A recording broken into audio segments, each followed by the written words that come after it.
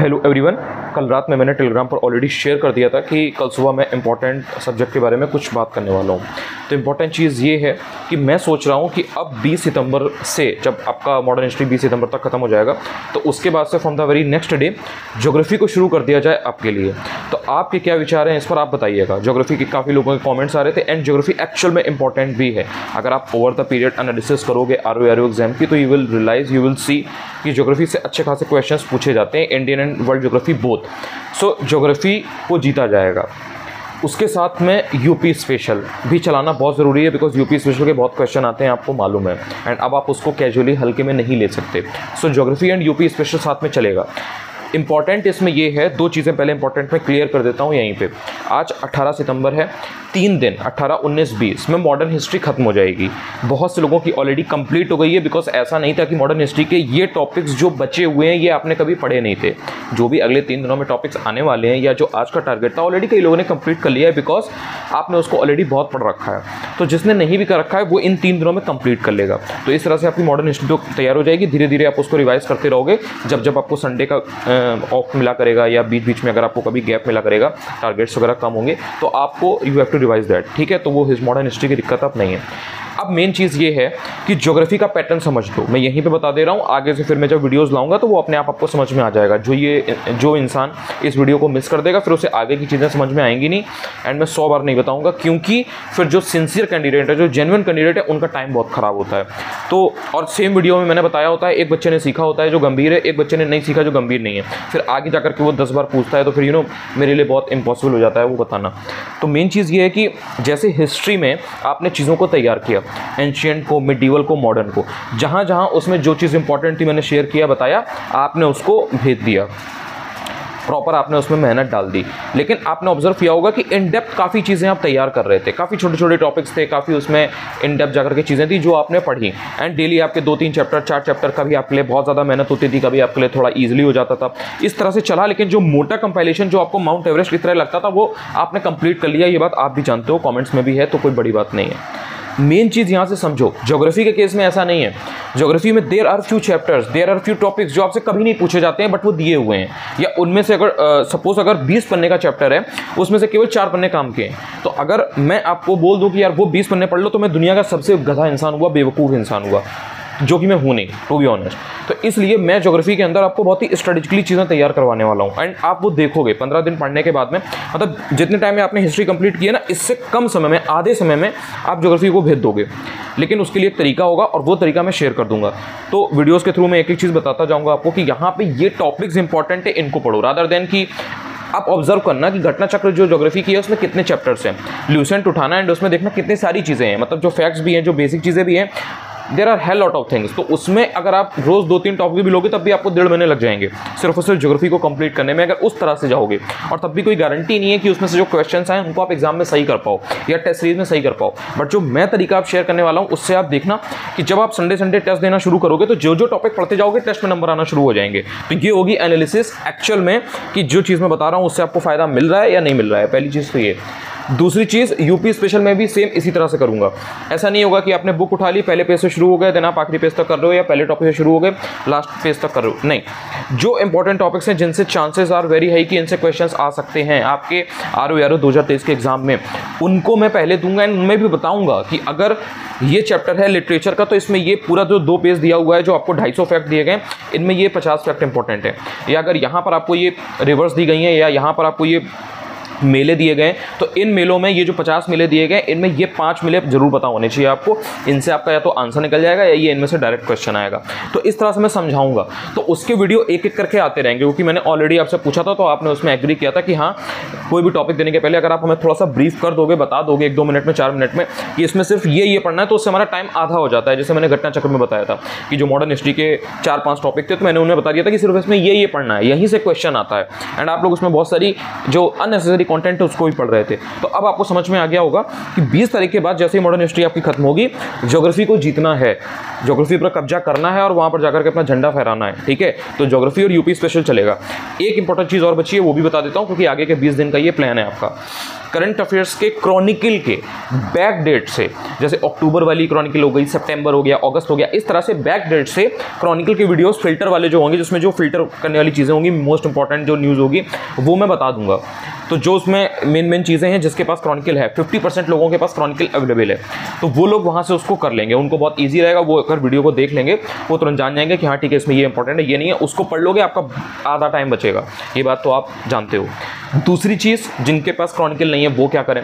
वो वीडियो को ध्यान से सुन लें। उनके पास जो मैगजीन आएगी, जो उन्होंने अगर जैसे एडिटोरियल ले रखी है या घटना सार ले रखी है या कोई भी मैगजीन आप फॉलो कर रहे हो फूल पत्ती कर रहे हो, कोई भी कर रहे हो डजेंट मैटर कि कौन सी कर रहे हो। सब में वो न्यूज़ अगर वो अच्छी मैगजीन है तो होगी, और अगर अच्छी मैगजीन नहीं है तो फिर पढ़ने का कोई मतलब नहीं है। मैगजीन क्या फॉलो करनी चाहिए, वो मैं पहले बता चुका हूँ। तो उनमें आपको वो चीज़ें मिलेंगी, वहाँ पर हाईलाइट कर लो, उसको पढ़ लो। अगर आपके पास क्रॉनिकल नहीं है तो फिर आपको इतना करना पड़ेगा। अगर आपके पास ये स्किल है कि आप फ़िल्टर कर सको कि दो फैक्ट्स में से कौन से सौ फैक्ट इंपॉर्टेंट है तो फिर वो आप अपने आप भी कर लो, कोई ऐसी दिक्कत नहीं है कि आपको मेरा वीडियो देखने की कोई ज़रूरत है। ये बात को भी ऑनेस्ट मैं बता रहा हूँ। तो अगर आपको लगता है कि हाँ मेरे पास ये फ़िल्टर करने का स्किल नहीं है, मैं नहीं जान पाता हूँ कि क्या इंपॉर्टेंट है, क्या नहीं, और मैं पूरी मैगजीन लेकर के बैठ जाता हूँ, पूरी बैठ कर रखती हूँ तो फिर उससे आपका एग्ज़ाम नहीं निकलेगा, क्योंकि एक्चुअल में उतना आप रिटेन नहीं कर पाओगे। करंट अफेयर्स में इतने फैक्ट्स आएँगे, अभी आपका जैसी नोटिफिकेशन आएगा मार्केट में बहुत सारी मैगजीन्स आएँगी, बहुत सारी यू नो हर कोई अपना निकालेगा। तो उसमें फिर आपको समझ में नहीं अगर आता है कि क्या इंपॉर्टेंट है, क्या इंपॉर्टेंट नहीं है तो फिर आप हर चीज़ याद करोगे। डिफेंस एक्सरसाइज पिछले आठ महीनों में कम से कम ये तो सत्तर अस्सी हो चुकी हैं। सबमिट पता नहीं कितनी हो चुकी हैं और सबकी लोकेशन अलग अलग हैं। जी ट्वेंटी में ये भी इतनी चीज़ें हो गई हैं, चंद्रयान में इतनी चीज़ें हो गई हैं कि उसी में आप कन्फ्यूज़ हो जाओगे। तो ये पूरा गेम था। मैंने सोचा कि आपको एक बार ब्रीफ कर दूँ कि जोग्राफी यूपी स्पेशल और करंट अफेयर्स और एक बात ध्यान रखना, अगर आपने अगले बीस दिन, अगर बीस सितंबर से लेकर के 10 अक्टूबर तक, जब तक नोटिफिकेशन आएगी। जितना मैं बता रहा हूँ, उतना अगर आपने फॉलो कर लिया, मेहनत उसमें डाल दी एग्जीक्यूट कर लिया इम्प्लीमेंट कर ले गए। तो मैं बता रहा हूँ, आप जब लोग फॉर्म भर रहे होंगे ना, और ये पूछ रहे होंगे कौन सी कोचिंग अच्छी है, कौन सा पेड कोर्स अच्छा है कौन सी इसके लिए स्ट्रेटजी बेस्ट होगी, कौन सी बुक लिस्ट बेस्ट होगी? जब वो लोग ये पूछ रहे होंगे ना तो टेस्ट में एक तो आप नंबर बना रहे होगे, जो कि ऑलरेडी लोगों ने बनाना शुरू कर दिए हैं। बहुत सारे लोग ऐसे हैं जो पिछले संडे को या उसके पहले संडे को उनके नंबर टेस्ट में नहीं आ रहे थे बट जो चीज़ें उन्होंने फॉलो की हैं इधर पिछले पंद्रह दिनों में, उससे उनके नंबर बनना शुरू हो गए कॉमेंट्स में जाकर देख लो। और ये उनकी मेहनत है, मेरा कुछ नहीं है भाई। मैं पहले बता दे रहा हूँ, पूरी की पूरी उन लड़कों की, उन लड़कियों की मेहनत है। उनका हार्ड वर्क है, उनका डेडिकेशन इट्स जस्ट कि मैंने उनको भाई कह दिया कि हाँ भाई, ये रास्ता है, इस तरह से चल लो, चल के देख लो ट्राई कर लो। वो उस तरह से चले, उनको उनकी मेहनत का असर दिख रहा है। बीस दिन तुम्हारे पास है, सिर्फ़ बीस दिन। बीस दिन अगर तुमने मेहनत कर ली ज्योग्राफी यूपी स्पेशल और करंट अफेयर्स में तुम्हारा कमांड आ जाएगी। ज्योग्राफी तो तुम ऑलमोस्ट नाइन्टी परसेंट तैयार कर चुके होगे। यूपी स्पेशल तुम एट्टी फाइव नाइन्टी परसेंट तैयार कर चुके होगे।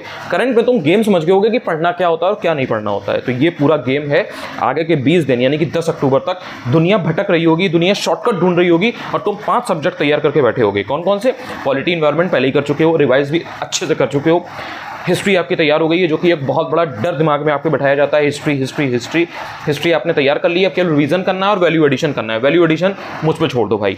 जो ऐसे फैक्ट्स जो तुमको डराया जाता है ना कि लूसेंट घटना चक्र से नहीं होगा नहीं होगा भाई, ठीक है। मैं बैठा हूँ यहाँ पे, मैं फैक्ट्स बताऊँगा, उनमें से आ जाएगा, ठीक है।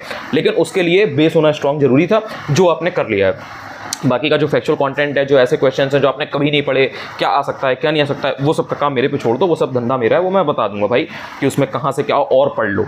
और वो हो जाएगा डुएबल वो मैं बताऊँगा कि इस तरह से इतने टाइम में कर लो, वो शॉर्टकट तरीका जिसको आप कहते हो, लेकिन वो स्मार्ट तरीका होता है, वो मैं बता दूँगा।